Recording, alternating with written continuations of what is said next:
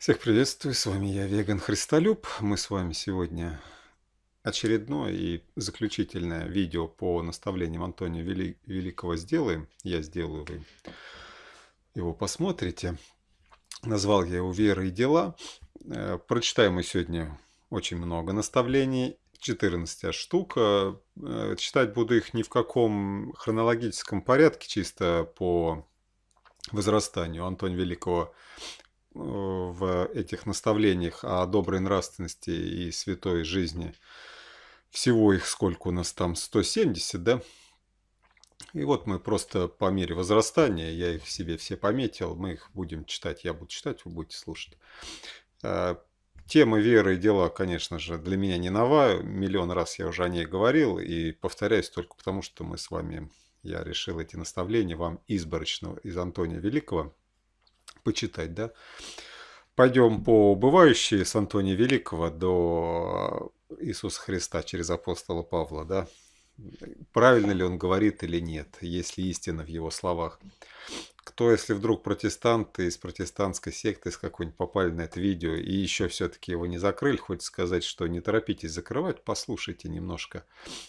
Кратко скажу, что Антоний Великий, этот святой, так называемый, пусть ортодоксальных сект, православия, католичества, он для них общий святой, потому что было разделение. Он жил во времена еще до всех этих соборов в, Конст... в Константинополе, там всего этого, когда христианство окончательно было пригвождено ко кресту, убито.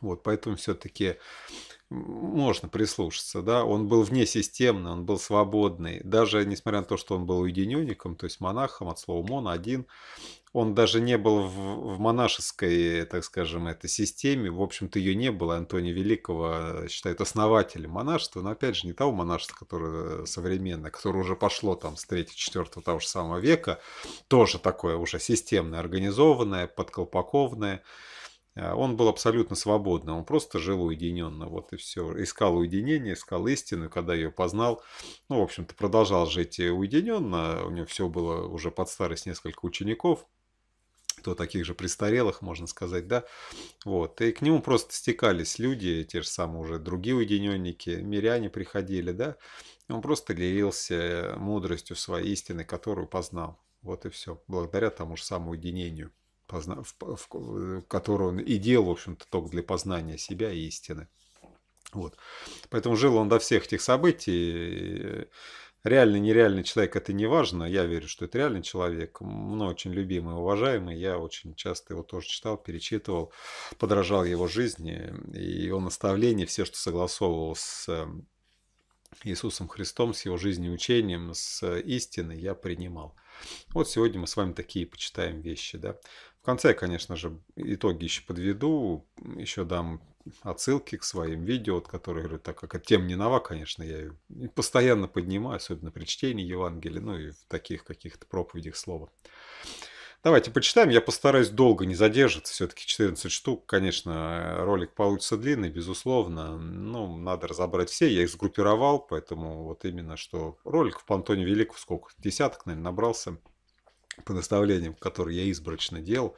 Вот. И так как все сегодня места а, будут, причем, конечно же, наставления, которые мы с вами помните, в его коротких наставлениях даже бывает не одна тема все равно, да, две-три можно взять.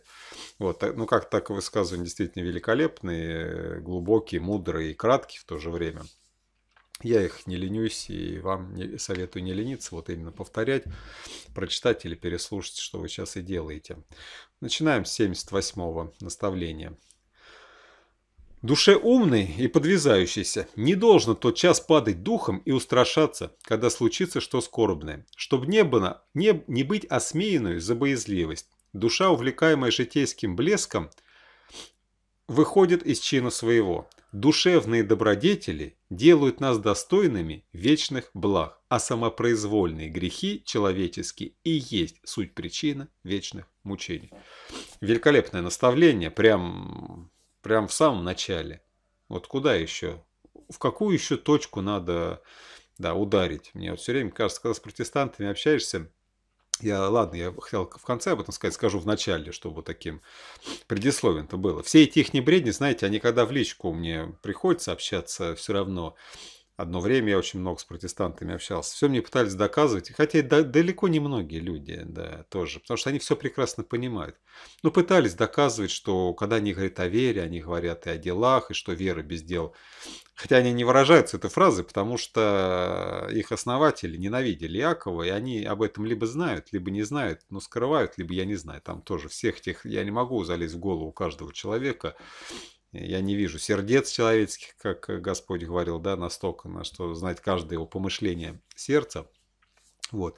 Я выражаюсь как раз э, языком апостола Акова, которого ненавидеть, да, что да, вера без дел мертва, но на самом деле они сами это отрицают. Да.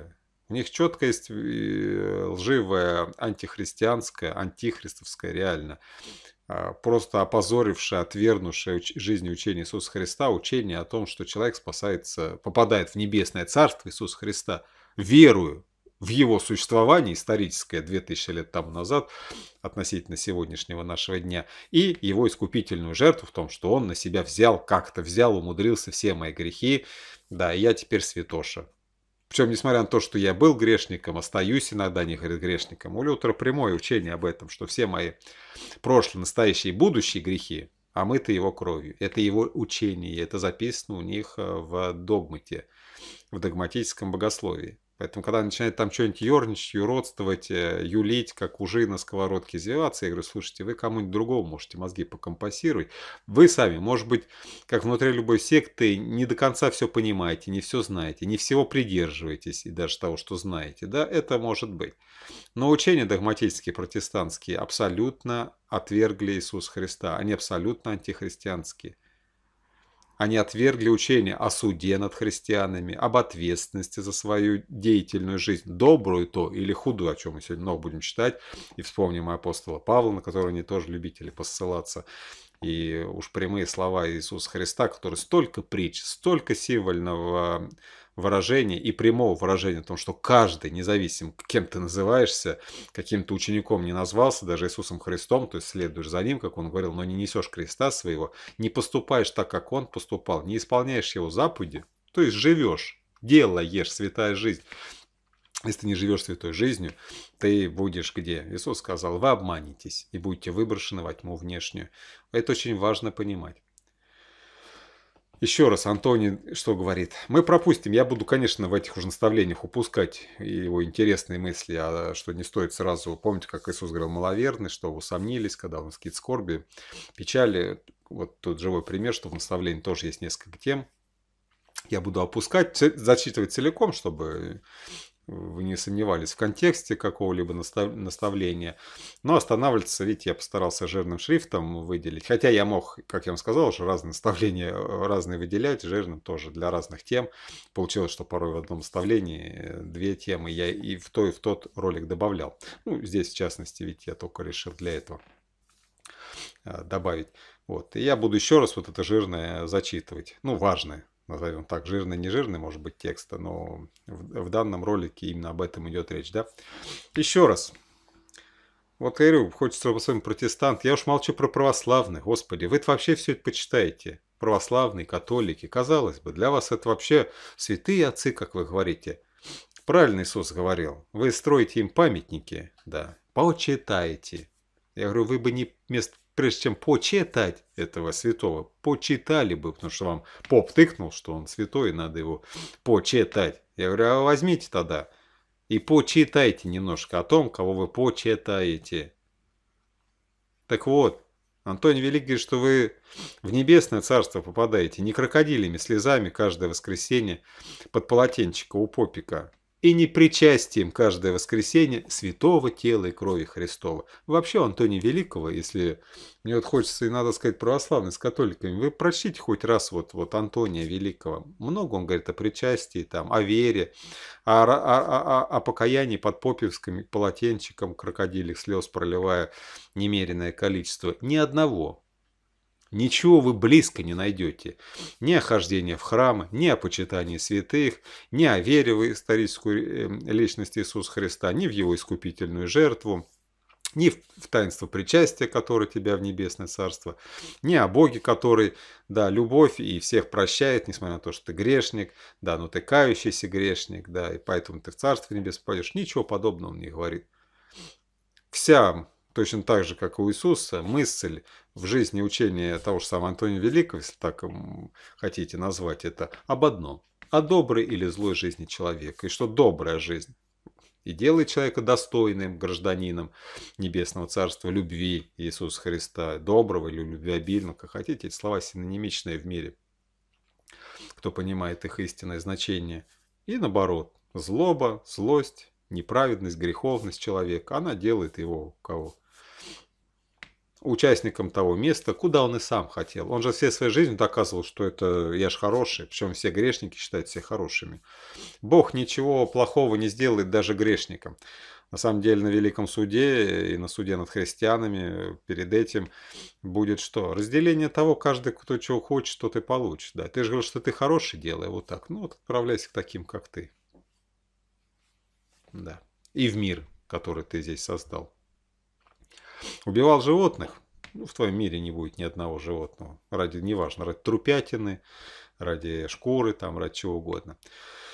Еще раз зачитаю, хоть у нас и 14, но я буду, видите, я не могу остановиться, я что-то вам говорю, что буду делать, буду не делать, все равно делаю, да. Ну, не знаю, сейчас, может, побыстрее пойдем, но вот так. Душевно, я же сказал, все-таки надо предисловие какое-то сделать. Теперь, может, побыстрее пойдем читать. Душевные добродетели и делают нас достойными вечных благ. Еще раз оговорюсь, не причастие, не вера в Иисус Христа, в искупительную жертву, в Евангелие, в так называемое, если вы не понимаете вообще о чем он, просто в слово. Да. Ничего вообще, все, что там понапридумали религиозники, уж тем более не там платочки на голове у женщин, бороды отросшие у мужчин на лице. Это разве что делает человека достойным вечных благ. Поиски там, опоясаны, не опоясаны, да. Ходишь ты глаза потупив, или ты нормально ходишь, как человек. Да, не это делает человека. Не все вот эти, не вычитывание правил. Да, не молитва, заметьте, к Богу не посты не нужны никому религиозные. А что? Настоящие добрые дела, душевные добродетели. Что такое душевная добродетель? Такое слово тоже некоторые начинают там что-то фантазировать. Душевные добродетели – это внутренняя природа твоя. Твоей души, которая готова к чему? К добрым делам. Твоя душа готова к добрым делам. Душевные добродетели. Каким? Что такое доброе дело? Честность, открытость, прямота, э, милосердие, э, добродушие, открытость, смирение, кротость, все, все это добрые, дела, добрые свойства, они выделяются в делах, выражаются все равно у человека. Это внутреннее состояние вся проявляется в человеке, в каких-то делах. А самопроизвольные грехи, которые делает сам человек, не Бог его в грехи толкает, да, не дьявол. Дьявол, ну, в смысле дьявол, конечно, там поднаучивает, поднаушивает, но делает их человек самопроизвольно. Об этом Антоний всегда говорит. Да, вот этот синдром, как я всем говорю, синдром Адама с Евой, или есть первородный грех, а я говорю всегда втородный грех, вторичный грех. Это когда Адам с Евой друг на друга тыкали на Бога о том, что это он виноват в том, что они убили животное в раю, да, и сожрали его труп. Нет, в этом виноват не Бог и не дьявол, какая Ева даже тыкала. В этом виноват ты. Ты самопроизвольно сам согрешил. Ты мог не грешить. А самопроизвольные грехи человеческие есть суть и причина всех мучений. Так, я сейчас... Так, следующее. 80 наставление. Из останавливающихся в гостиницах некоторые получают постели, а другие, не имея постели, ложатся на полу и засыпают так же крепко, как и те, кто спят на постелях.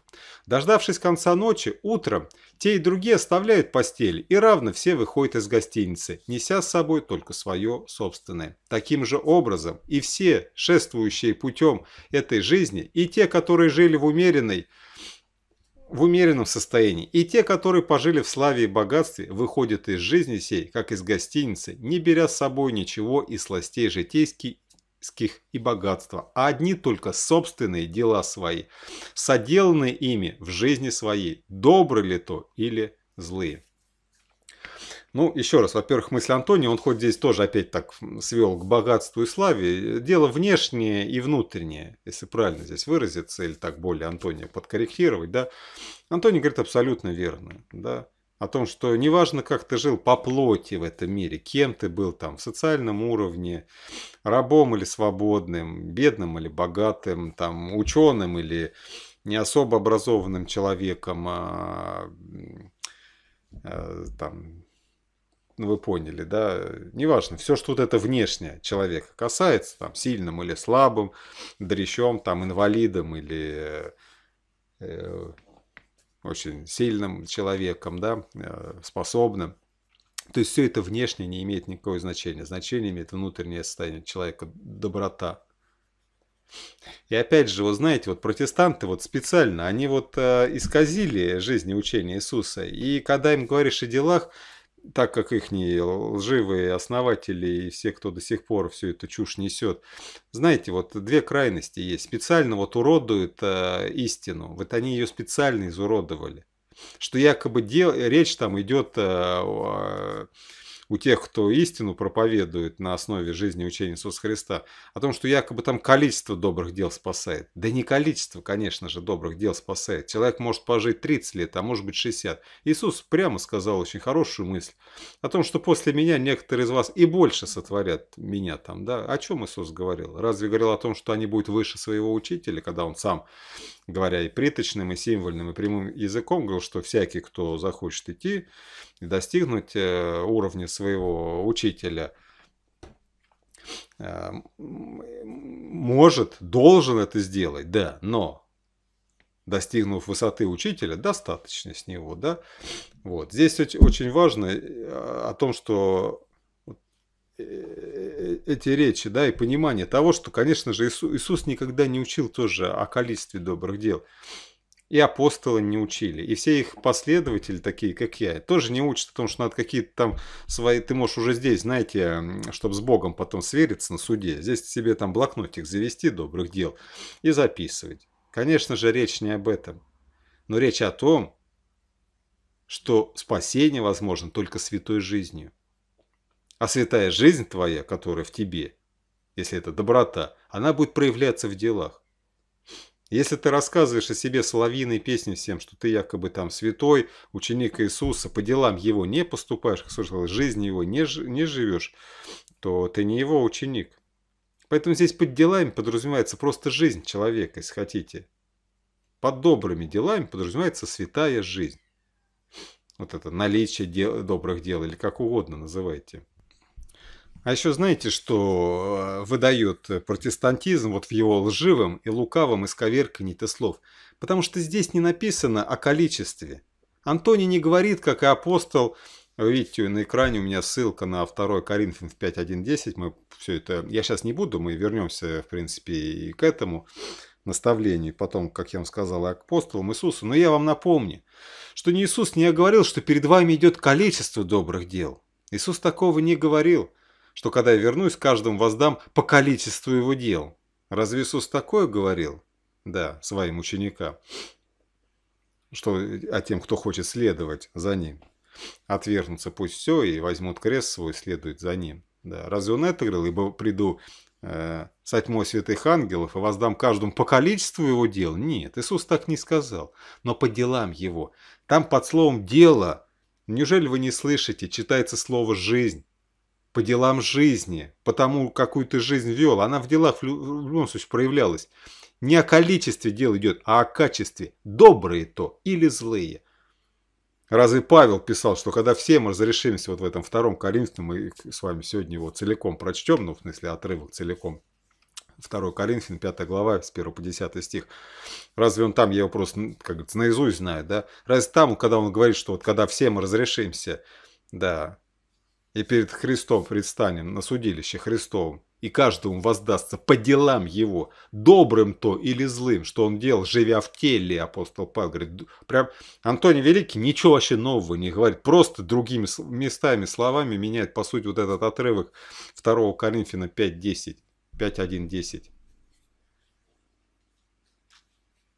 Не, не количестве, а о качестве твоей жизни, качестве твоих дел, добрых то или злых. За это будет воздаяние.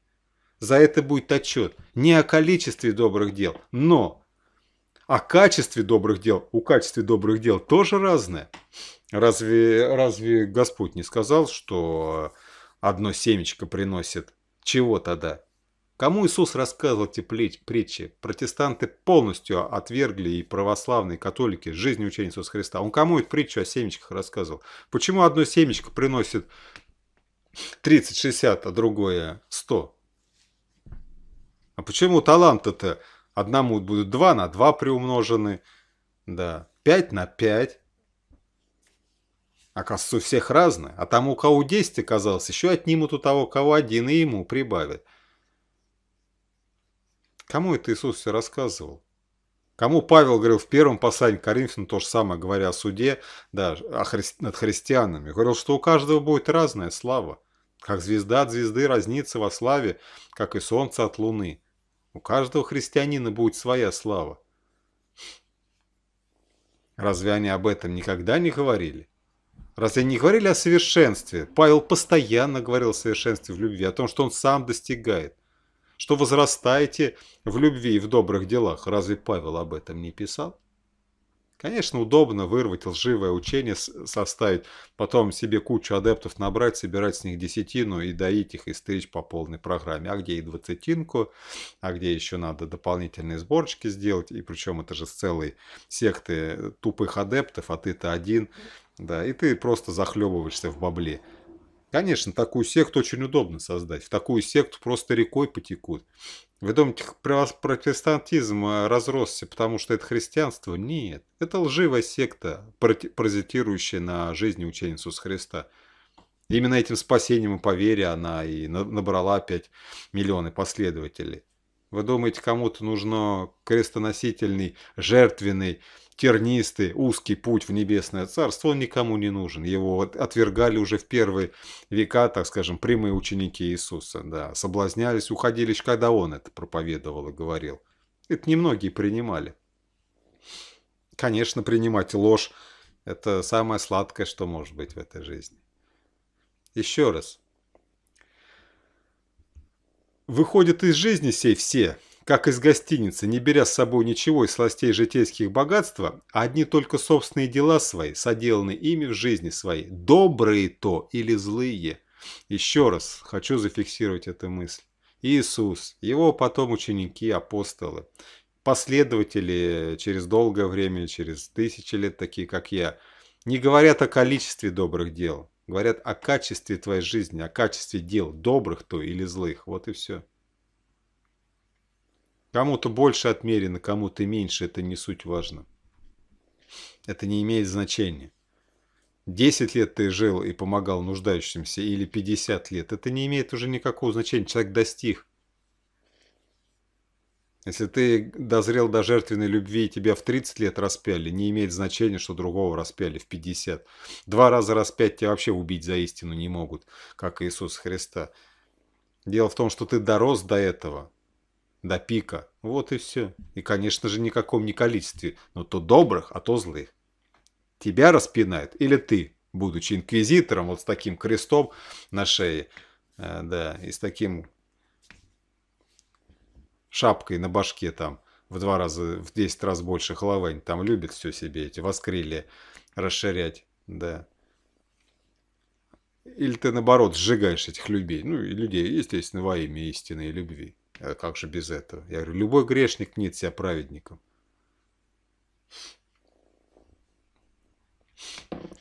Так. Следующее, 116 у нас с вами наставление.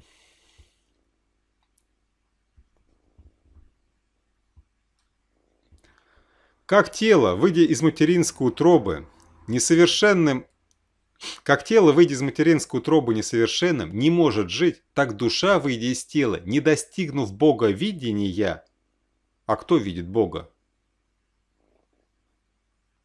Вот как прочитать Антония Великого, даже не, не дочитывая, а очень легко. Боговидение что такое?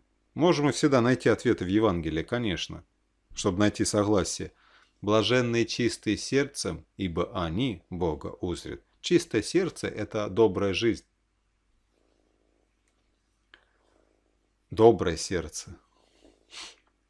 Выйдя из тела, так и душа, выйдя из тела, не достигнув Бога видения, ну, Антоний, это я, зара... это я как кажется, свой, но ты опять придумал, там вложил в Бога видение, а чистое сердце, доброта, да, может, это просто супермолитвенник. Нет, Антоний прямо говорит, достигнув Бога видения через добрую жизнь. Чистое сердце – это доброе сердце. Спастись или быть в общении с Богом не может. Я вот все на протестантов, а действительно, ведь православным, католикам, да. Я просто на них давно забил, потому что это вообще, это люди просто непробиваемые. Они просто в свою секту, вот, вот это прям чистой воды зеркало иудаизма. Вот как Иисус им говорил, их вообще никак не пробирало.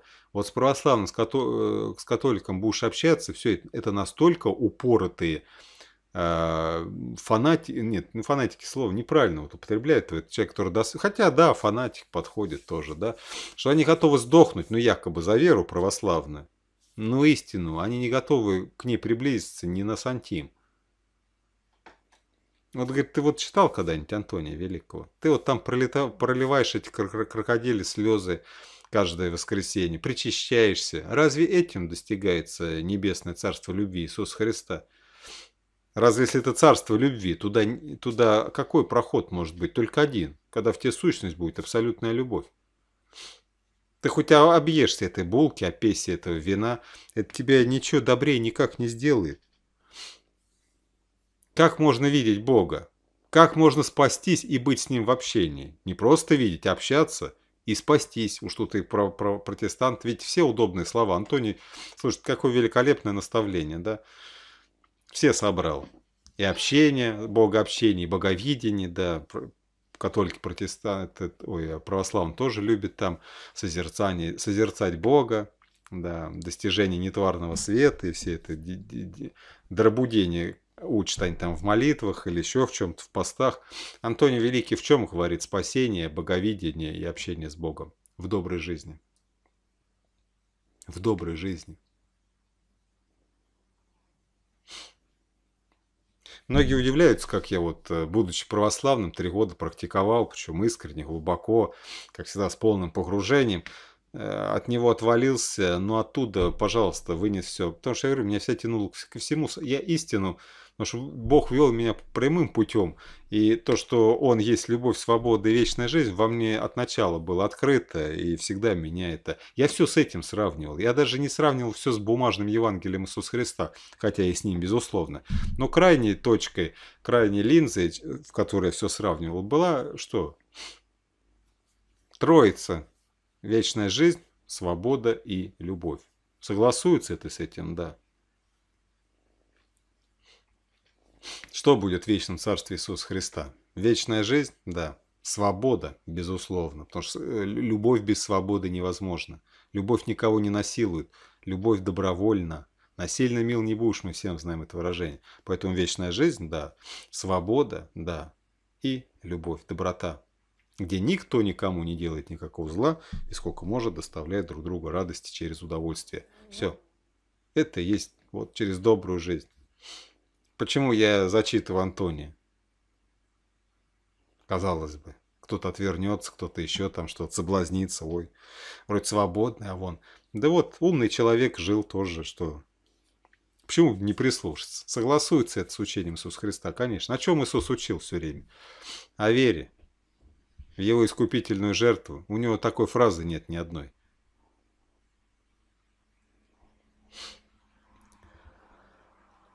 Так, 118.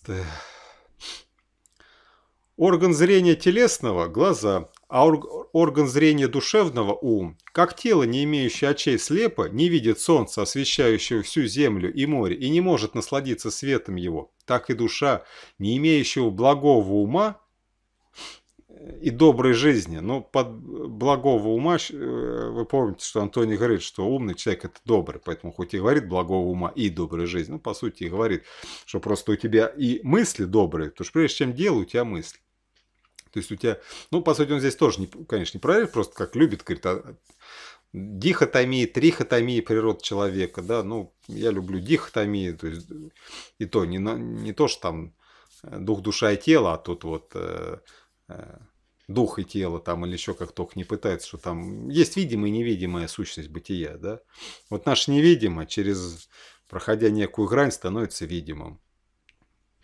Поэтому душа, не имеющая, то есть внутреннего, э, внутренней доброты, которая проявляется во внешней, в доброй жизни, слепа, не знает и не славит Бога Творца и благодетеля всех творений, и войти в наслаждение его нетлением, вечной жизнью и вечными благами не может. Вот как вот, как ортодоксам или протестантам, ортодоксам, в смысле православным католикам или протестантам, вот, вот донести вот эту вот мысль, простую, понятную мысль, которую Иисус постоянно говорил. Душа, не имеющая доброй жизни, не знает и не славит Бога. Они все, мы знаем Бога, познай Бога, и вы его не знаете. Не верой в Иисус Христа она познается Бог. Не в его искупительную жертву, не крокодилями слезами по воскресеньям под полотенчиком у попика и дальше продолжением греха. Да вы за год, живя в церкви, должны тогда перестать к нему ходить. Неужели вы продолжаете грешить? От всех своих грехов, как они говорят, избавиться не могут. Да вы грешники. Зло, злую жизнь ведете. Раз каждое воскресенье ходите об одних и тех же грехах перемалываете. Противоречит это Евангелию? Конечно, нет. Разве Иисус не говорил, что да то светит свет ваш перед людьми, чтобы они видели ваши добрые дела? Веру во Христа, веру в искупительную жизнь, ваши тайные походы в капище и плачи бесконечные крокодили слезы о своих грехах, разве это должны люди видеть и славить Бога? Нет. А и мы, разве этим его славим? Нет. Если уж внешне, если уж другие люди будут его славить, значит, тем самым и мы славим. Иисус так и сказал. Тогда светит свет ваш перед людьми, сказав иносказательно, тут же говорит прямо, чтобы они видели ваши добрые дела, это и есть свет, и прославляли Бога Небесного. И войти в наслаждение его нетлением в небесное царство любви Иисуса Христа и вечными благами не может. Антоний что не говорит о причастии, о вере, о молитвах, о постах, о всей этой церковной дребедени, о куче религиозных культов, праздников, там, предписаний человеческих, бреданий человеческих, заповедь на заповедь, правило на правило. Хоть о чем-нибудь он говорит. Вы думаете, я у Антония вырываю 14 мы сегодня прочтем наставление. Я просто выбираю самые интересные по темам. Я говорю, прочитайте остальное. Я выбрал какие-то самые важные, интересные темы. И вот сколько, я говорю, там с десятков роликов получилось. Есть у меня целиком его жизнь с прочтением с моими комментариями. Есть письма, прочтенные с моими комментариями. Пожалуйста, обратитесь. Да.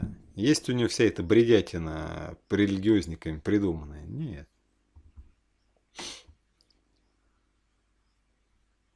127 наставление. Одного только невозможно человеку – миновать смерти. С Богом возыметь общение он может, если поймет, как сие возможно. Ибо при желании и понимании дела ради веры и любви, свидетельствуемой добрую жизнью, человек становится собеседником Богу. В молитве человек становится собеседником Богу. Нет, вспомните апостолов, которые говорили, что ваши молитвы противные, мирские пред Богом, да. Кстати, про дела, про откровение-то, я говорю, 15 глава, да. Когда там святые шли, а перед ними идут дела их. Я говорю, протестанты, вы сначала вот тогда книги тыкните, что они там о делах говорят, о спасении по делам. Разве там написано, что перед святыми, которые идут к Богу, вера идет ихняя? В Бога, в Иисуса Христа, в Его искупительную жертву. Нет дела. Там надо быть идиотом, чтобы подставить э, злые. Подразумеваются добрые. Сколько я говорил таких мест, где проглочены просто слова. Но мы же не идиоты, мы должны понимать, что речь идет о добрых делах. Что раз это святые люди идут к небу, это неверующие бесы, как Яков прямо называл тех же самых протестантов современных. Он им прям прекрасное определение дал, да. И бесы веруют и трепещут. Вера – это не добродетель. Бог ни в кого не верит. Бог не верит в Бога. Бог не верит в Иисуса Христа. Он сам Бог Иисус. Бог не верит в свою искупительную жертву. Бог есть любовь. Вечность и свобода – это его природа. Стать как он можно только как? Любя. Потому что свободой и вечной жизни мы обладаем по природе. Ее нельзя отнять. Он просто есть, как он и сказал Моисею. Я просто есть. Это нельзя у меня отнять. Я не знаю, что такое смерть. Э, я не знаю, что такое жизнь, по сути, потому что я не знаю, что такое смерть. Я просто существую. Я просто свободен. Свободу нельзя отнять. Когда я отрицаю всю свою свободу, я не буду выбирать, да, или я не могу, я боюсь, ты уже отрекся от нее. Это свобода твоего выбора, даже отречься от свободы выбора. Но это твоя свобода. И то это лишь ты сам себе так. Это лишь такая тавтологичная формулировка якобы. Я свободен, отрицаться свобода выбора. Ты не отрекся от нее. Ты выбрал зло просто. Вот и все. Не могу это, не могу то. А любовь – наш свободный выбор. И именно ей только мы становимся богоподобными. Ибо Бог и есть любовь. Поэтому ради веры и любви, а вера-то во что? В любовь. Иоанн Богослов так прямо и писал, что любовь Божию познали. Вот в этом его, во всем его, во всей его жизни учении, ну и в частности в том поступке, который он совершил, явив нам даже любовь к врагам, что он есть абсолютная любовь. Мы увидели это, его поступок, и уверовали в нее. Иоанн Богослов говорит, не в него, а в нее. А потому пребывающий в любви пребывает в Боге, и Бог в нем. Не Иоанн Богослов сказал, пребывающий пребывает в Боге, а в любви. Только такой человек, да, живя добрую жизнь, становится собеседником Богу. Сто сороковое у нас с вами дальше идет. По человеколюбию, создавшего нас Бога, к спасению есть весьма много путей, обращающих души и возводящих их на небеса. Души человеческие получают за добродетель награды, а за грехи наказание. Слушайте, вот насколько надо быть идиотом, чтобы читать подобные вещи и не понимать их. Это же настолько все просто. Единственное, конечно, говорю, можно, знаете, дойти до безумия, извращать все на свете. Вот даже тут – знаете, когда там разные пути к Богу, разные религии ведут к Богу. К Богу не ведут религии, не разные пути. И Антоний, если так извращать, да, можно дойти до безумия. Антоний просто проглотил, как всегда, может быть, как и мы все. В моих речах куча чего всего проглоченного бывает. Потому что ты не можешь все употребить в одном, в одном предложении, в каком-то, в одной мысли. Тебе потом еще куча вопросов, да, поэтому мы миллионы роликов записываем, современные блогеры, по одним и тем же порой темам, да. Естественно, речь шла о весьма многих путях каких? Внешних. Надо всегда разделять внешнее и внутреннее, либо когда это все вместе говорится там о человеке, либо действительно по отдельности имеется в виду. Да, внешние пути разные. Внешний человек может быть женщиной или мужчиной, старцем или юношей, богатым или бедным, да, учителем или неучим. Это, ну, там, в бытовой жизни, да, рабочим или руководителем. Это не это, да, к Богу путей в этом плане весьма много, уроков жизни. Школы мы все разные проходим.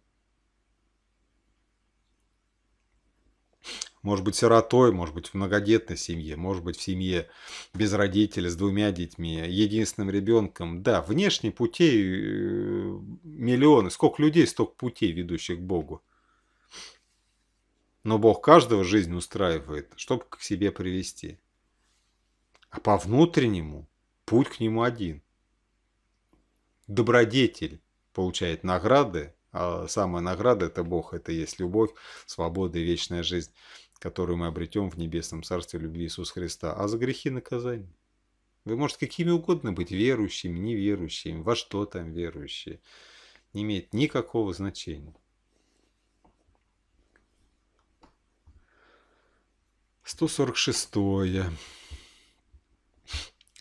Умная душа, презирая вещественное стяжание и маловременную жизнь, избирает утешение небесное и жизнь вечную, которую и получит от Бога за добрую жизнь, за доброту, за любовь. Уже не знаю, что комментировать. Уже, по-моему, настал момент, когда я вам просто их почитаю. Уже об одном и том. Начало греха есть похоть, через которую и погибает умная душа. Началом же спасения и Царствия Небесного бывает для души любовь. Слушайте. Удивительно, хочется сказать. Для меня это не удивительно, конечно.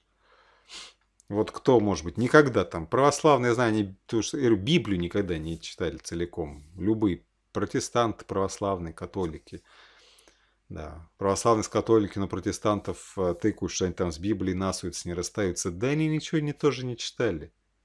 Ну хорошо там, ну я согласен, что протестанты хотя бы Евангелие читали хоть раз в жизни. Любой протестант. Я в этом практически убежден. Может быть, там один на миллион попадется, которого вот так приняли, он даже Евангелие не, не знал, не читал никогда. И то не знаю, как сейчас там их крестят, как там их вербуют. Вот, э, лишь бы десятинку содрать я ничему не удивлюсь, но так мне кажется все-таки, что хотя бы раз Евангелие они читали. Вот. Это может какой-нибудь гремучий уже протестантизм или прикрывающийся уж там совсем какая-нибудь секта. На самом деле не такая неискренняя, там уж совсем, да, ради все денег, там основатель какой-нибудь уже чисто чисто как аферу это замутил, потому что таких тоже полно, да. Ну и все это вряд ли в массовых таких больших масштабах. Вот, такое бывает. Ну, конечно, православные католики это вообще, это люди, это люди, которые никогда в жизни Евангелие не читали. Ну, может быть, 10% это максимум, это максимальная цифра. Может быть, 10% православных католиков хоть раз в жизни читали Евангелие. Это предельная цифра. Из тех, кто называется, естественно, православными. Ну, то есть вы подойдете на улицу, спросите, он, он там скажет, я православный. Скажешь, Евангелие читал, и все узнаете, как он православный. Нет, он никогда его не читал, он даже не знает, что это такое. Ему слово даже, может быть, чужим покажется, он не поймет, о чем вы его спрашиваете. Это факт жизни. Может спорить со мной, может не спорить. Я говорю, все это элементарно проверяется. Вы это можно проверить, даже если вы к любому капищу подойдете, к храму. И то не забудьте, что это как раз э, в храмы ходит от общего числа. Ну, сами, сами эти статистика православных католиков, они ее выгружают, как говорят, они на сайте надо, статьи какие-то. Я вот такое слышал, они же сами, тут понятно, что в России, допустим, чуть ли не там как 70-80% православных, но они сами говорят, что в храмы ходят такие активно религиозные люди, это 3-5%. Вот от этих еще. Э, там 70-80 якобы православных людей э, в России. Ну и сами задумайтесь, что если вы подойдете к капищу и там сделаете опрос, причем подходить, конечно, не прям в какую-нибудь, знаете, э, в пятницу на вечернюю, когда туда и так две коллеги приходят. Нет, ну хотя бы на какой-нибудь, ну, как это называют, даже не, не самые основные праздники. Вот давайте, так как 12, по-моему, да, я уж это забываю. Даже не 2 на 10, как это говорят, да, не второго порядка, а именно первого порядка. Там зачатие Девы Марии, Рождество Иисуса Христа, крещение, да, там сретенье, обрезание, э, Пасха. Вот на такой праздничек. Потому что туда, ну, я думаю, что на тоже такой, честно, статистики прям не знаю. Может, она и была, может, это я так. Но я так подразумеваю, я просто знаю, то, что знает, я сам в храмах работал, служил алтарником, все это читал там, да, и псалмы, и Евангелие, апостол. Ну, Евангелие не читается, понятно, священник читает апостолов, читал, да, вот, э, и эти, проводил эти с, крещ, с крещаемыми, с крестными вот эти беседы там, да, вот. Э, и понятно, что на праздник приходит, ну, возможно, вот из этих назывных 70-80%, ну, я думаю, что даже не знаю, я говорю, я когда все это называю проценты, я всем, конечно, говорю, понятно, я не Господь Бог, и я не вижу всего этого и не знаю. Но так, по ощущениям, от 30 до 50%. А это уже, э, уже половину этих опросите. Вот. И вот там вы точно поймете, что там и 10% никогда в жизни Евангелие не читали. А получается, если вы будете это вообще на улице какой-нибудь делать, не у храма, да, и спросите, вы православны? Да, Евангелие читали. Я думаю, что и процент с трудом наберется один. Один процент из ста прошлых православных, что когда-нибудь вообще в жизни открывал Евангелие. И это очень показательно. И это не мои пустые слова, это абсолютная правда. доказывать что-то кому-то я уже давно перестал, потому что это бесполезно. Я работал в храмах, я знаю, я видел этих людей, я разговаривал с ними.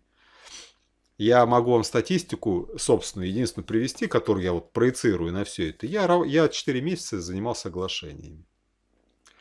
Приезжали очень много людей. Потому что там приезжают не только, и так как папу было до лампочки, кто там во что веру, читал Евангелие, нет, он чисто формально это делал, потому что это обязало руководство делать час. И он крестил прям в тот же день. Неважно, согласны они, будут они слушать. Нет, он все равно крестил. На меня даже возмущались, жаловались, кричали, что я вот тут их. А вы знаете, какой из меня проповедник. Я бы их никогда в жизни не крестил. Я попу говорю, ты же видишь, они же все неверующие, им вообще это не надо. Как ты их крестишь? Ну, он был абсолютно алчным, ему было до лампочки все это. Вот. А, вставали, прям уходили. И, а я сажал всех. А приезжали, ну, тем более в деревне, там народу приезжало всеми крестить. Мальчика, девочку, и там человек еще 20-30, все это родственники.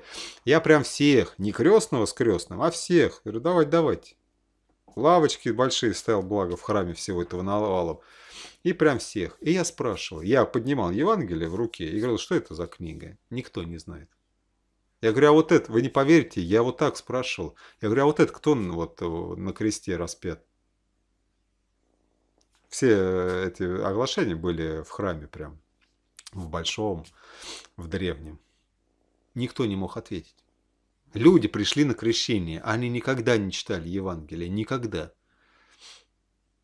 Люди приехали в храм на крещение, 23, там всегда от 10 человек, это минимум было. От 10 где-то так до 20, может даже до 30 доходило. Половина сразу вставала, уходила. Они не могли отсидеть, курильщики не могли час отсидеть, чтобы за соску за свою не побежаться, вот им надо покурить. Кто-то вставал, уходил половина, кто-то на меня жаловался, шел, что я вот тут начинаю...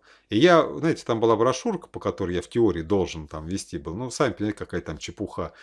Крестный не должен быть это, не должен быть это. Там такая чепуха. Да. Правила бытовухи, там, что крестными не должны... Что им уже это рассказывать, если это еще должен был поп когда ему по телефону позвонили и сказать, что там крестные не должны быть там родственниками, близкими и так далее. Это вообще мое ли дело, когда ты их уже позвал? Да, через час все равно ты их крестишь, окунешь, там неважно, веруют они во что, не веруют. Вот. Поэтому кому вот эти сказки рассказывать? Это я лично делал 4 месяца. Лично. Это достаточная статистика. Вы думаете, в стране что-то в каком-то селе отличается от другого? Ни один. Там единицы вообще. Единицы, кто мог сказать, да, я читал. Да, это Иисус Христос распятый. Единицы. Основная масса вообще, вообще не в зуб ногой, рядышком не знает, что это такое, о чем вообще речь идет. Понятия вообще не имеют, что это такое. Евангелие. Поэтому о, о чем вообще можно говорить? О каких христианах так называемых. Когда на меня возмущают, что я там православных с католиками не называю и протестантов христианами, да это жизнь просто. Началом спасения и Царства Небесного бывает для души любовь. Любовь, доброта – это слова синонимичные. А если еще берем символьный язык всего, всей Библии, там совершенство, спасение, святость – это все одни и те же слова. Полнота любви, да, невеста непорочная Христа. Это все одни и те же слова, просто разные образы. Даже Царство Небесное. Иисус сказал, оно внутри вас есть. Если вы у себя раскроете, вы будете в нем и по плоти.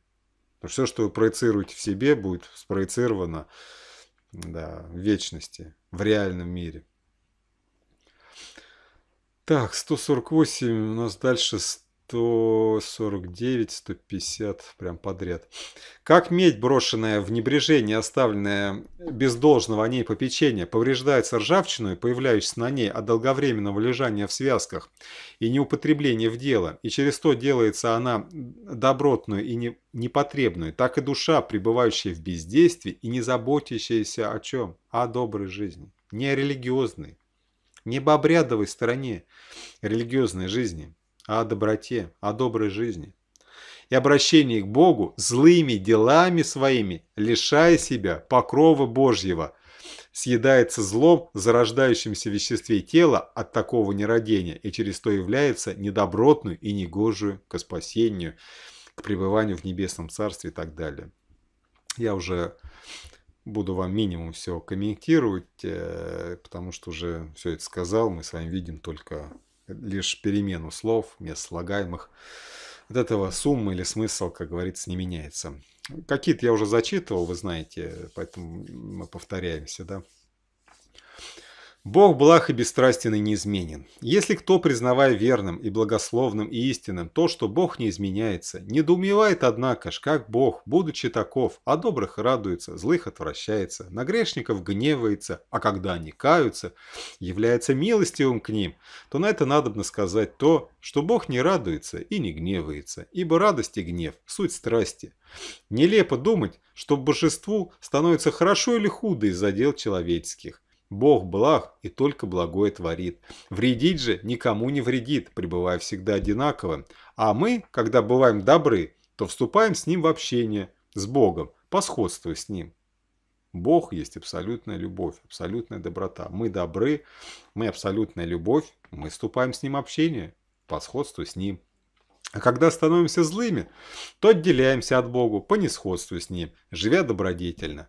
Мы бываем Божьими – живя добродетельно, мы бываем божьими, а делаясь злыми, становимся отверженными от него. И это не то значит, чтобы он гнев имел на нас, но то, что грехи наши не попускают Богу воссиять в нас с демонами же мучителями соединяют.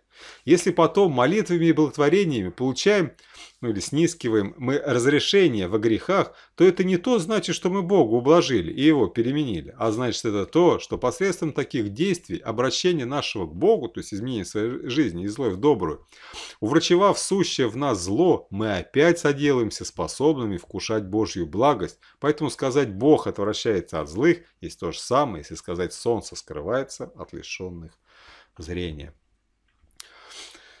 Стоит ли все это уже пояснять? Еще раз лишь главную мысль Антония Великого. Живя добродетельно, мы бываем Божьими, а делаясь злыми, становимся отверженными от Него. И это не то значит, чтобы Он гнев имел на нас, но то, что грехи наши не попускают Богу воссиять в нас с демонами же мучителями, соединяют. Павел есть, давал такой образ, он действительно такой есть, да, в жизни Бог так всю природу, она так проецируется, что все, что есть э, снаружи, все это можно увидеть через это внутреннее, да. Павел так и, говорят, и говорил, созерцая внешнее, познаю не, внешнее, видимое, познаю невидимый мир, да. И действительно, огонь, он страшен для кого? Для соломы, для дерева.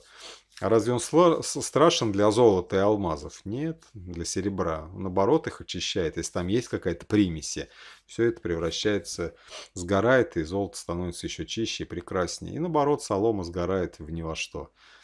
Поэтому действительно это не Бог изменяемый, да, и мы не можем его, ни веры в него к себе приблизить, да, ни крокодилями, слезами лживыми, да. Мы можем только как с ним соединиться? Добротой. Это очень важно. Так, 158.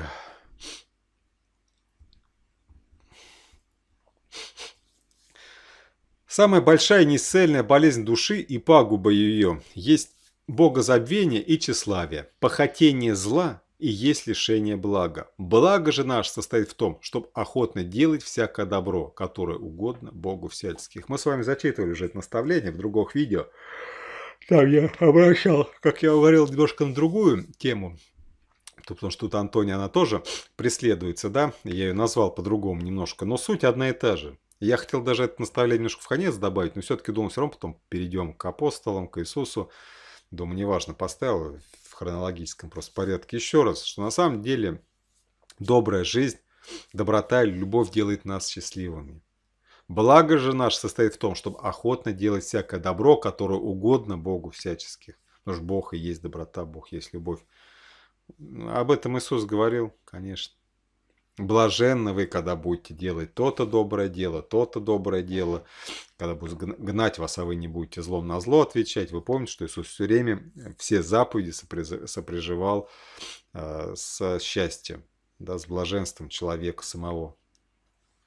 Когда ты будешь исполнять эти заповеди, заповеди добра и любви, ты будешь сам счастлив, даже несмотря на то, что тебя по плоти будут угнетать злодеи, да, но творя любовь в ответ, в это время жизни. По плоти ты будешь страдать.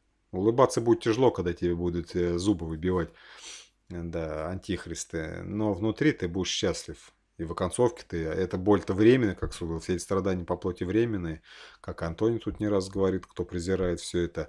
Да, но ты возросший, выросший в этой... Ой, простите, обед все время спать хочется. Потрудишься с утра, вот, покушаешь. А, вот, э, что, что действительно делая все это добро, ты сам станешь счастливым. Если ты по плоти даже какое-то время страдаешь, в Царстве Небесном этих страданий уже не будет. Поэтому главное явить э, в, этой, в этих страданиях абсолютную любовь, как явил ее Иисус. Так, какой прочли с вами 158, 161, 164. Святым называться, называется тот, кто чист от зла и грехов. Потому величайшее совершенство души и дело весьма угодное Богу есть то, когда в человеке нет зла. Как достучаться до религиозников, я не знаю. Вот не, не могу себе представить, честно. Сколько бьюсь, шестой год и седьмой год уже 6 лет уже, да, и я уже не понимаю, что им надо, да, ведь это так просто, так понятно, что лишь доброта, любовь делает человека счастливым. Если все мы любим, все мы добры, это и есть. Это был рай, в котором мы должны были остаться.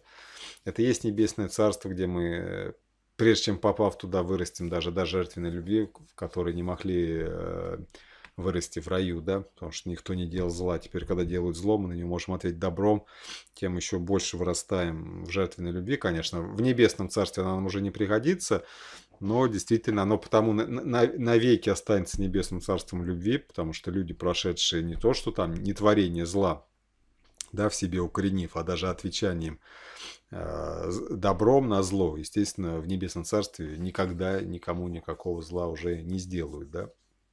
Потому даже на зло отвечали добром, уж тем более для них самих просто табу кому-то причинить какое-то страдание. Да? Святым кто называется? Святые по вере. От того, что ты крещен святой, или ты стал, да, или еще как-то. Или у тебя мамы, папы, или предки твои святы, дедушка, бабушка. Да, разве чужой святостью мы святы по бреду протестантов?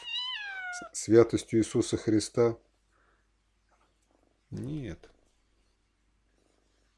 Мы святы своей святостью. Святым называется тот, кто чист от зла и грехов. Ну, а зло есть беззаконие, грех есть беззаконие. Помните, Иоанн Богослов так и говорил, это есть зло.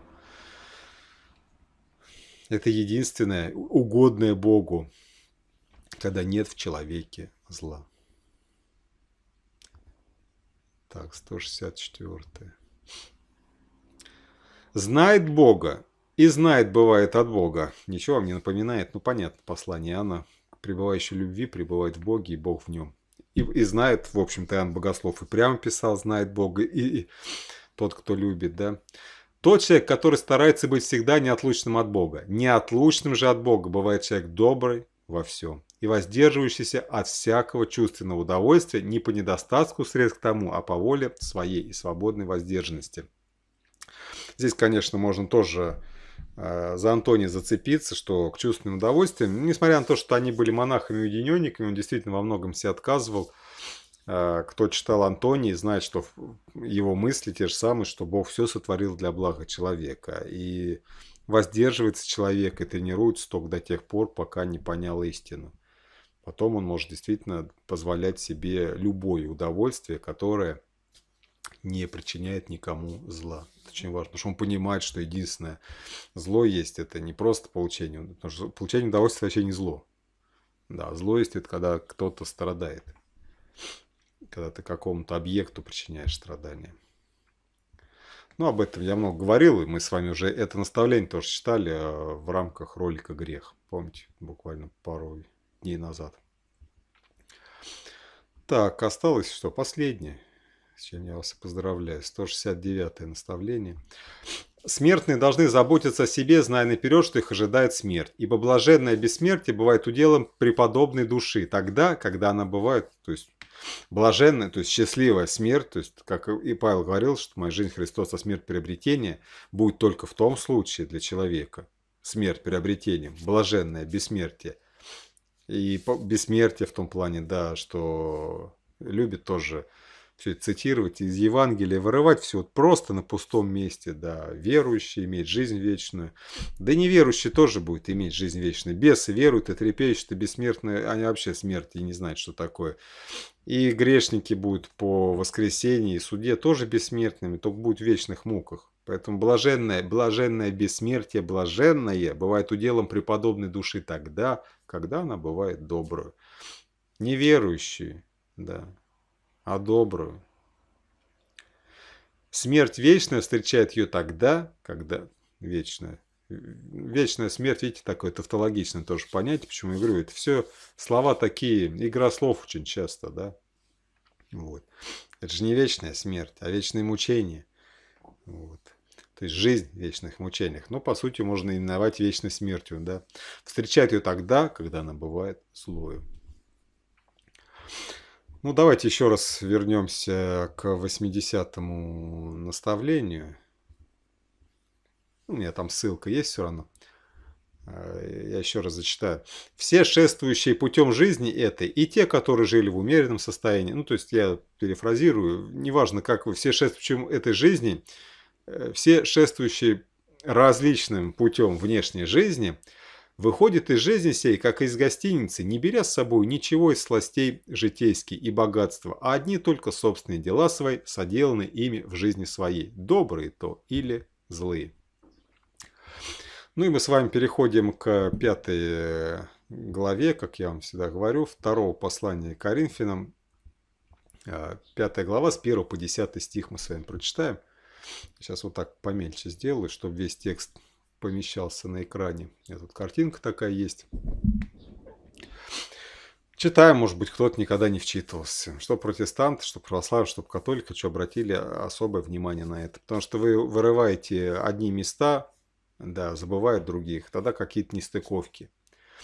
Павел пишет первое, обращаю внимание, он пишет христианам, он не пишет язычникам. Это не послание грешникам.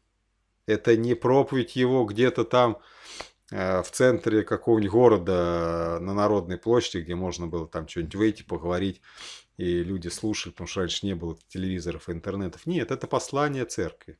Церкви, в которой благодаря первому посланию мы знаем, что грешники были такие уже христиане, которых и у язычников, и у грешников не найдешь.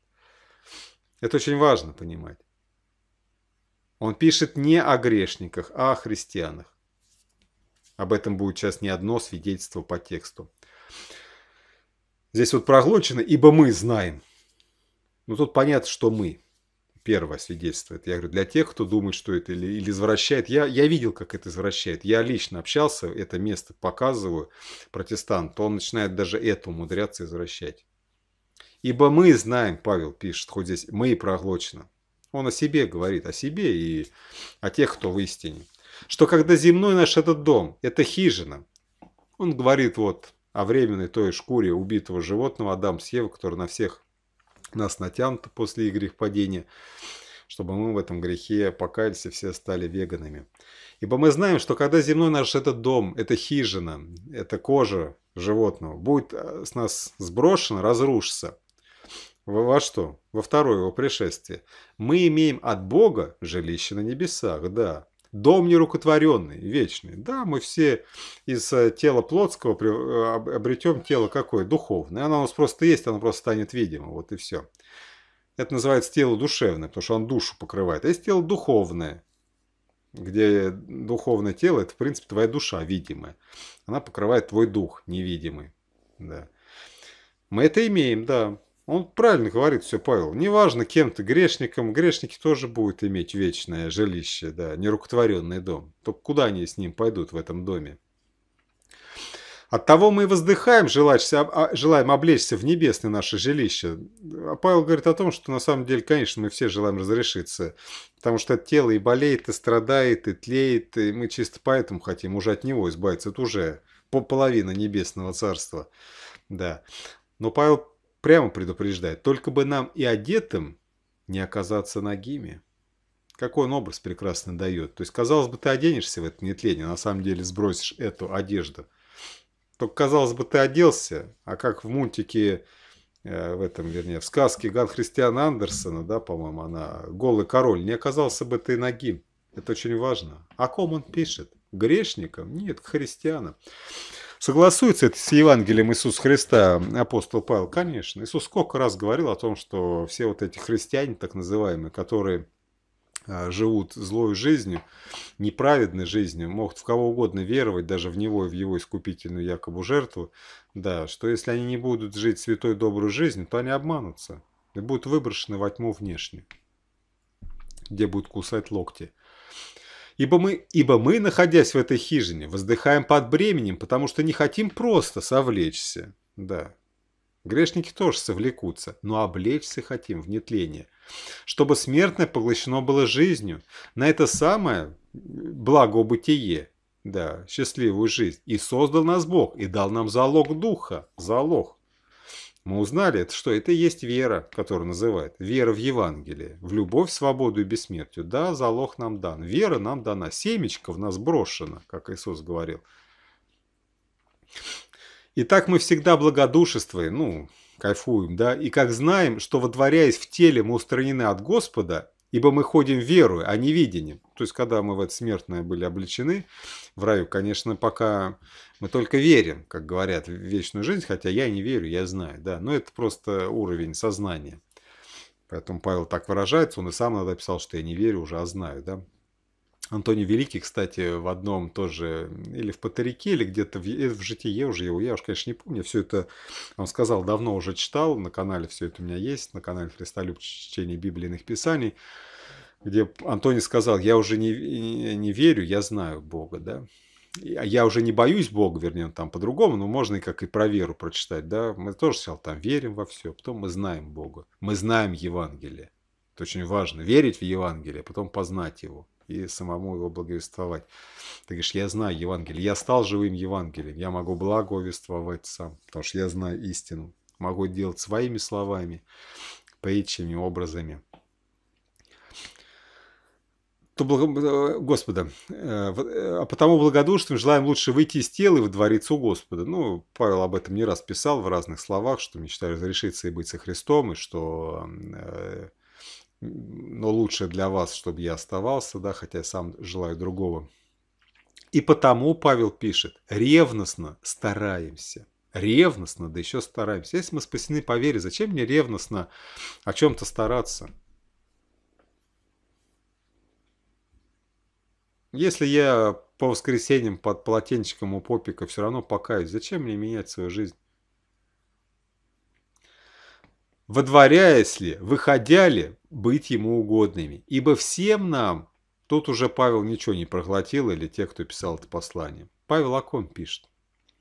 Я говорю, протестанты это не все они. Ибо всем нам, Павел причем, он говорит вам.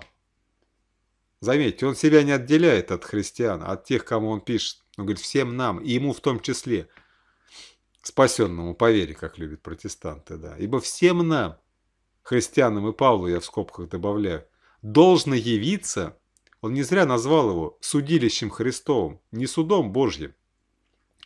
Суд Божий будет, э, великий суд так называемый, да, там тоже будет Иисус, но для грешников это будет просто Бог.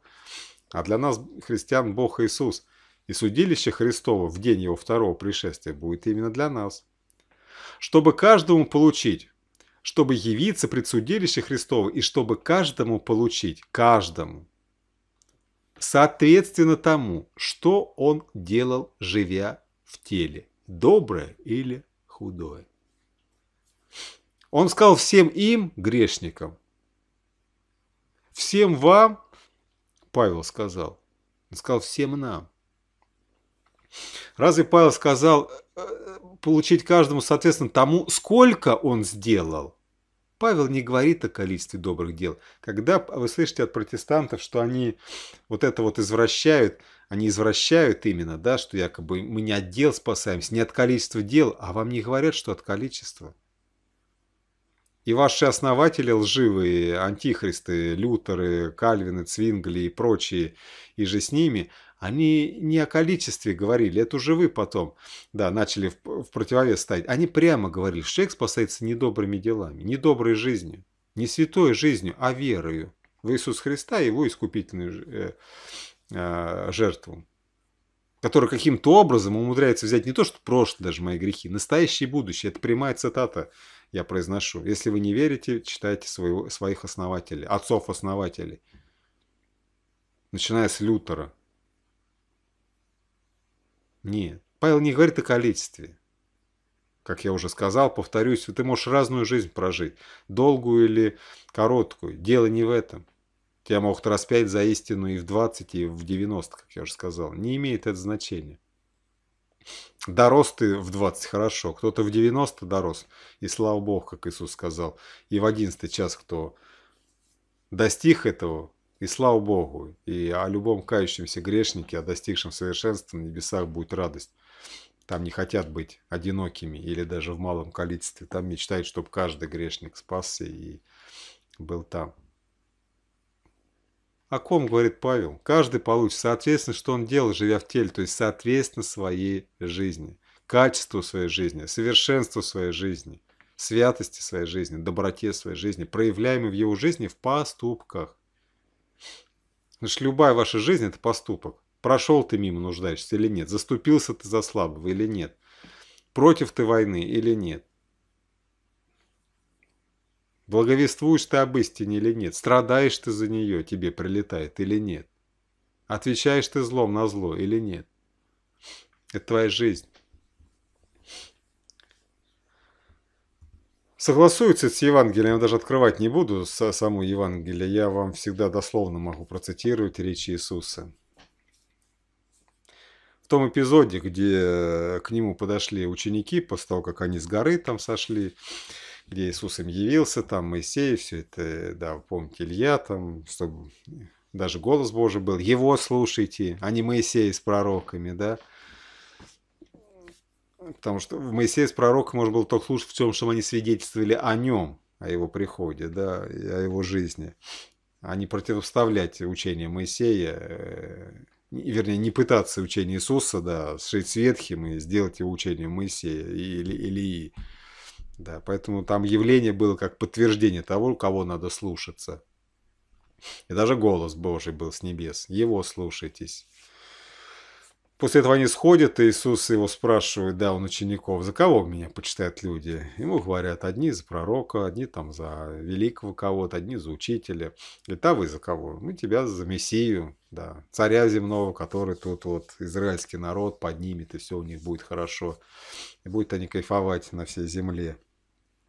А Иисус говорит, да, за Мессию, это, конечно, хорошо, да не за того. И когда стал ему говорить о том, что с ним произойдет, да, Петр ему воспрекословил, Иисус сказал, отойди от меня, сатана, и сказал речь, написано, и ученикам, и всем, кто стоял в округе. Кто хочет следовать за мною, отвергни себя, возьми крест свой и следуй за мною.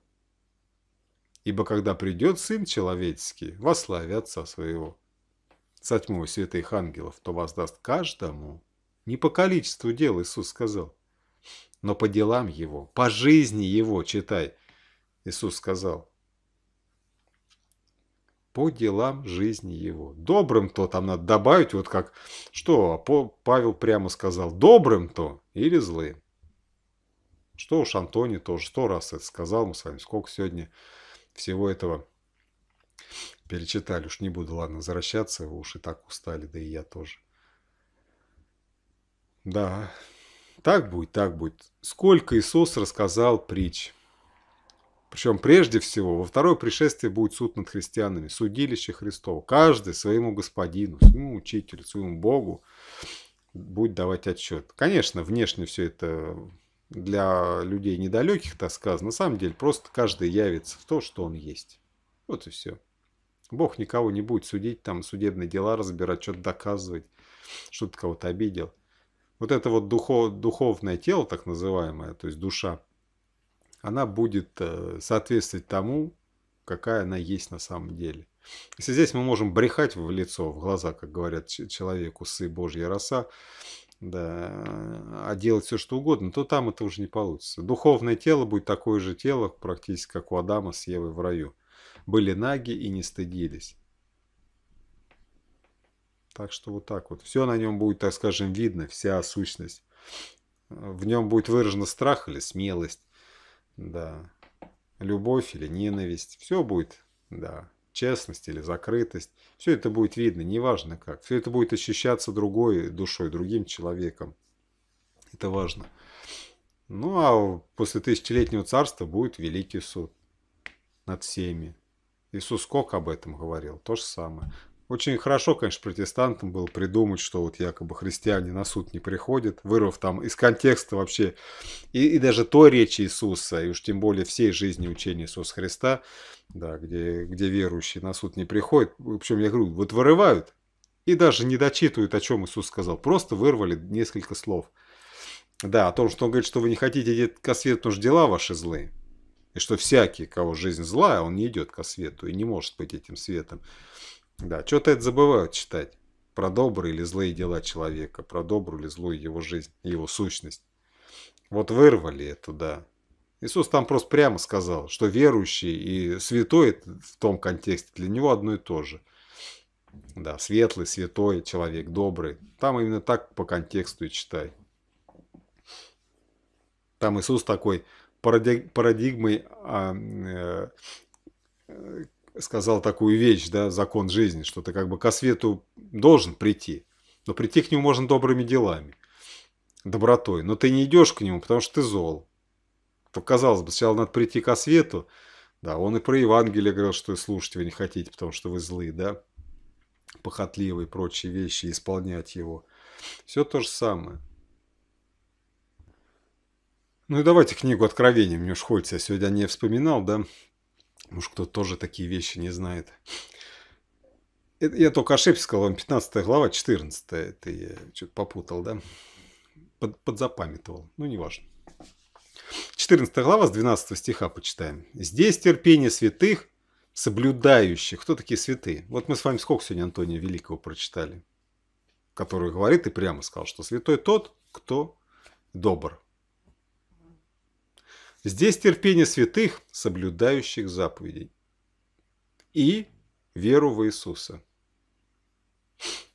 Здесь вера в Иисус только потому сказано, что действительно, ну, первое, кто, почему воскреснут христиане во второй пришествии Иисуса Христа, здесь сейчас дальше-то об этом речь, в 14 главе как раз сказано, да, только потому, что действительно притчу, которую рассказывал Иисус про о десяти девах, кто будет встречать-то его? Те, кто его хотят, кто ждут, кто увидели в нем Бога, любовь, явившись во плоти, кто хотят быть с ним, с Богом, любовью, да. Поэтому здесь вот вера в Иисуса, конечно же, э, необходимое условие, но не чтобы попасть в небесное царство, а чтобы в тысячелетнее царство, чтобы воскреснуть в день второго пришествия Иисуса Христа и тысячу лет еще с ним на земле здесь пробыть, опять в этом воду. В общем, второе Евангелие на земле пережить.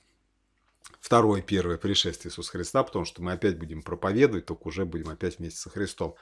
Вот. Здесь единственное условие, вот для чего нужна вера в Иисуса человеку, если он хочет просто не до Э, конца тысячелетнего царства и до Великого Суда, когда э, все восстанут в очередной раз на христиан, там Гога и Магога, все соберутся и все опять окружат Иерусалим и святых его, об этом дальше в книге Откровений все по порядку сказано. И вот те, кто хотят воскреснуть просто не будучи добрыми, не во второй, не, не, не, не в великий суд и все равно попасть в небесное царство любви, потому что они все потом поймут. Но действительно, если ты когда-то узнал Евангелие, узнал о том, что Бог, любовь когда-то являлся во плоти, и будучи добрым еще человеком принял это, это, конечно же, просто твой билет в то, что ты становишься той невестой, которая будет ожидать своего жениха. Вот и все. Здесь это не критерий попадания в небесное царство любви. Нет, попадание в небесное царство любви только одно – доброта. А для воскрешения в его второе пришествие, да, вера в Иисуса необходима, потому что только если ты ждешь, ну, Бог-то любовь, ты его ждешь, и Он тебя воскресит, Он тебя тоже любит, тоже ждет этого дня. Вот и все. Ну, а заповеди какие? Иисус сказал, заповедь моя одна, по сути. Любите друг друга. Никогда не поступайте с другим так, как хотите чтобы не поступали с вами, наоборот, делайте все другим то, что хотите, чтобы делали вам. Все. В этом весь закон, Павел писал, познав это, весь пророк, все пророки, вся Библия, весь закон блага бытия, счастливой жизни. И услышал я голос с неба, говорящий мне, напиши, отныне блаженны мертвые, умирающие в Господе. Ну, то есть, вот э, христиане, да. Да, говорит Дух, они успокоятся от трудов своих, и дела их идут вслед за ними. Не вера идет в Иисуса Христа, а дела. Вера, как хотите, идет впереди. У меня сначала мысль, выражающаяся в слове, ну, у нас много чего у человека, органов, руки, ноги, глаза, уши, да, мои мысли выражаются в моих. Вера впереди идет этого, да, вот вера в Иисуса, в том числе тебя воскрешает, в день его второго пришествия. Это вера, учение, вера, учение, если хотите, нераздельное слово, ну или вера равно учение, да, в любовь, как Иоанн Богослов сказал. Мы увидели в его этом жертвенном подвиге любовь Божью абсолютную и стали такой же любовью. И все, кто будет, тут не зря у меня картинки не случайно, это все по откровению, там речь идет вот именно уже о тех, кто вообще до жертвенной любви дорастет, будут очередные гонения, да, перед, перед этим все. И что? Умирающие в Господе будут еще что? Все они успокоятся трудов своих, и дела их идут вслед за ними. Вот здесь опять проглочено слово. Ну, надо быть идиотом, чтобы сюда что подставить? Злые, что ли? Конечно, добрые. Речь идет о добрых делах, которые люди совершали, о доброй жизни, о всей жизни. Не, не, не важно, сколько количества дел их было, но их жизнь была абсолютно доброй. Все те дела, которые были за его говорю, недолгую жизнь или долгую, все они были добрыми. В Ветхом Завете у пророков, Бог через пророков, Бог очень хорошо говорил тоже, да. Если вся твоя жизнь якобы будет добрая, а в конце ты окажешься злодеем, то не поменится тебе ничего доброго. Да потому что тебе этого нет. Там тоже надо все это понимать. Ну, я не могу удержаться, давайте мы все-таки вот прочтем еще чуть-чуть. «Изглянув я, и вот светлое облако, и на облаке сидит подобный сыну человеческому. На голове его золотой венец, и в руке его острый серп. И вышел другой ангел из храма, и воскликнул громким голосом к сидящему на облаке. «Пусти серп твой и пожни, потому что пришло время жатвы, ибо жатва на земле созрела». Несмотря на то, что второе пришествие Иисуса Христа описано в 19 главе, здесь от 14 до 19 уже совсем немного событий. Да? Это даже чисто по книге Откровения с 13 главы, ведь 14 глава шла за 13, а 13 это воцарение Антихриста, его царство. И здесь четко написано, что дням этим быть всего три с половиной года. И вот со времен воцарения Антихриста в своем царстве до второго пришествия 3,5 года. Поэтому все эти уже события, все, что будет со святыми, все эти 3,5 года творится до его пришествия. Там будет Бог еще изливать чаши гнева в надежде покаяния этих злодеев. Да, на, на, на их вот эти злодеяния. Ну, написано, хотя некоторые будут каяться. Ангел полетит по небу, благовествуя Евангелие. На самом деле очередной вестник пойдущий по земле. Вот, но в оконцовке так вот все и будет. Тут уже будет образ пира, и вот второе пришествие Иисуса Христа описано. Но мы видим, что здесь очень сжато, потому что все это говорится о трех с половиной годах ну, реальных, реальной нашей жизни. Ну вот такое вот видео по Антонию Великому. Надеюсь, кто-то меня услышит, да, и, и начнет тщательно следить за своей жизнью, добрая она или худая. Иисус сказал, что только такие, как учитель, войдут в небесное царство любви. К теме, к этой теме я лишь могу анонсировать и дать отсылки, ну, каким близким по теме плейлистам, кто хочет разобраться к теме, по этой теме. У меня нет конкретного, я не стал удостаивать протестантов такой, хотя это одно из тех, куда я бьюсь вещей. И, к сожалению, если э, выделить плейлист «Спасение по вере», туда просто много либо дубляжом мне все придется задублировать все эти видео, потому что они как бы расползаются. И у меня конкретно такого плейлиста нет, а ролики, конечно, такие есть названные. Даже вот... Э, э, я уже забыл, как я этот ролик назвал. Я, по-моему, даже, вам даже и не сказал, да? «Вера и дела», а назвал... Ну, это на значке было, да? Мы с вами Э, смотрели. А назвал я его «Добродетели к вечным благам приводится, грешение к вечным мукам». Ну и то там в названии не удалось подробно написать, потому что количество символов на ютубе ограничено. Да? Ну, что добродетели ведут к вечным благам, а грехи, согрешения к вечным мучениям. И ну, кто хочет, конечно, разобраться побольше, кого-то зацепило, да, кто-то усомнился в спасении по вере в Иисуса Христа и искупительную жертву, задумался над своей жизнью, православные, которые устали, католики, лить крокодили слезы по воскресеньям, да, исповедаться, молиться, причащаться.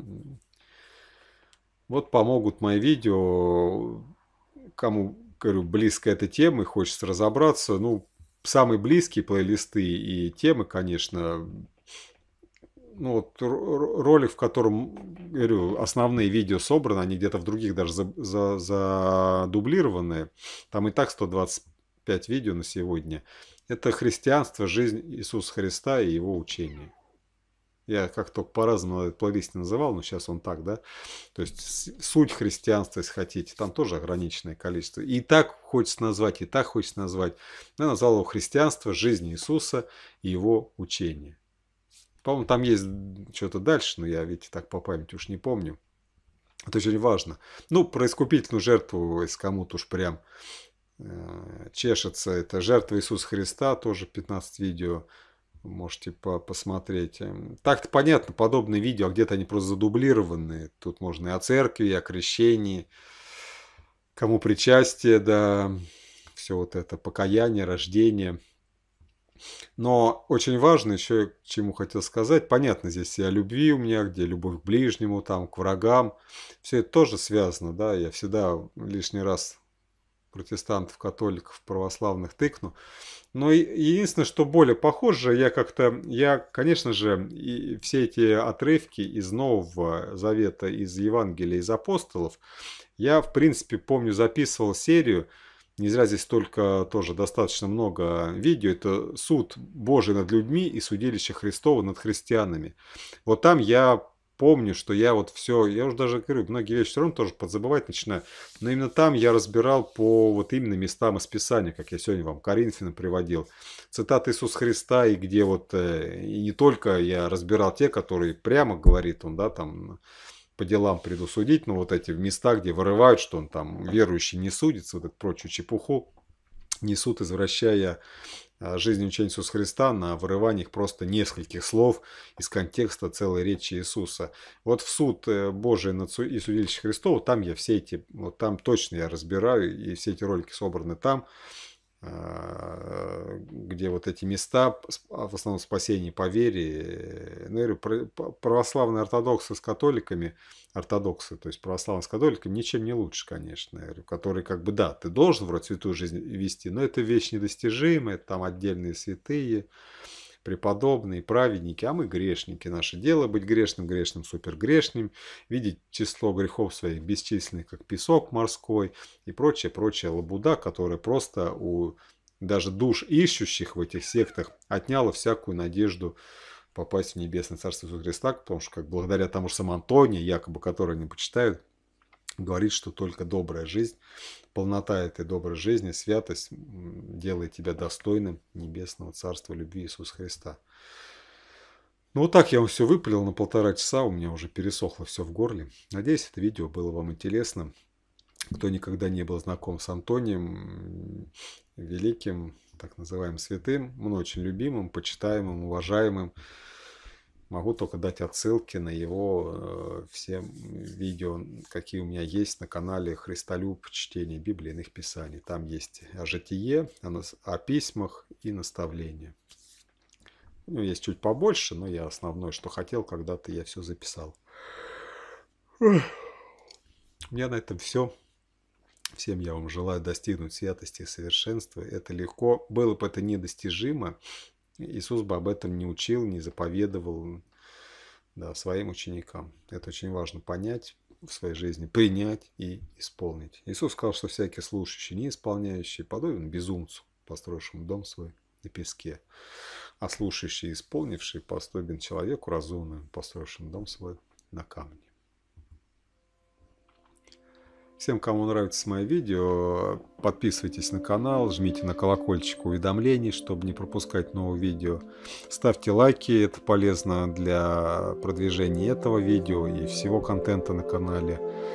И пишите ваши комментарии, делитесь эмоциями. Я все читаю, задавайте вопросы, на которые считаю правильным, интересным, имею вдохновение я отвечаю. Все тексты, которые видели, доступны на моем авторском христианском сайте христолюб.ру. Ну или по-русски можно просто набирать христолюб.рф. Там все найдете, все доступно, свободно, бесплатно. Для чтения все там есть, и Антоний, Евангелие, и апостолы. Вся Библия целиком тоже есть.